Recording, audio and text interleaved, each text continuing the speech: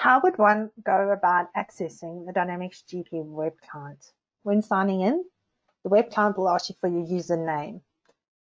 Normally, we presume that you would use your on-premise GP profile that was provided to you. However, because this is the web client, you need to use your Active Directory user account and password. What is Active Directory? Active Directory is the directory service developed by Microsoft for their Windows domain networks. It authorizes and authenticates all users and computers within that domain type network. It will assign and enforce security policies for the computer in that environment.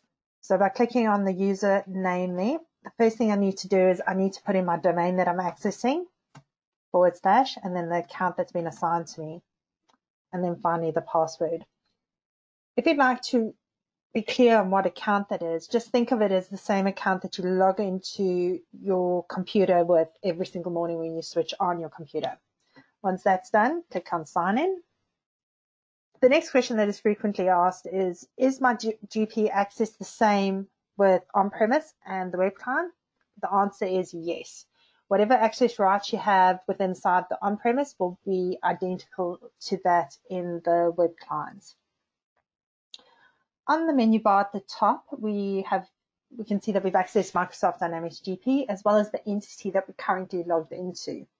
If you need to close the connection for the web client, please do not go and click on the cross that closes the internet browser, for that will actually stop your session and it will be disconnected. So you'll have to go into your session, disconnect it properly, and then resume session there afterwards. The correct step would be to go to your access there and then drop to the very last option at the bottom, which is exit Fabrikam. On the left-hand side, we have got our navigation bar, which is reminiscent of the on-premise product. However, if I click on financial as before, I would have my financial homepage and I will see all the functionality that my profile allows me to access. If I need to return to a previous homepage or another functionality, what I would do is I would click on areas page, all the other sub ledgers will be visible and I can click on sales. There are a few other changes that have taken place. So I'm just going to take a step through the sales transaction entry window to show you the few changes that have occurred with inside the web client for functionality. If we look at document type, the drop downs all work as they expected. If we go to document number, the document number will automatically increment correctly. If we go to the debtor ID and we do a lookup with inside there, we can once again either type in the debtor ID we're looking for, we can double click on the lookup, or we can single click and say select.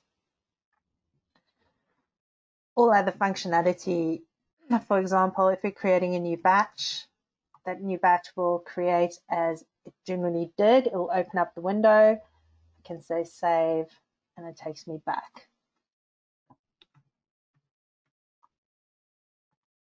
There we go. The document header has been completed. If you remember back to your standard sales transaction entry window on the on-premise, there is in fact a little blue arrow button here where the customer detail entry exists. However, because this is the web client, to access that window, it's moved to the tab now. So if I go and click on the customer detail entry window, all relevant information can be updated through there and I can move through the window. If I need to return back to the sales transaction entry window, I just click on the tab and it takes me back to that information. At an item number level, if you are looking for an item number,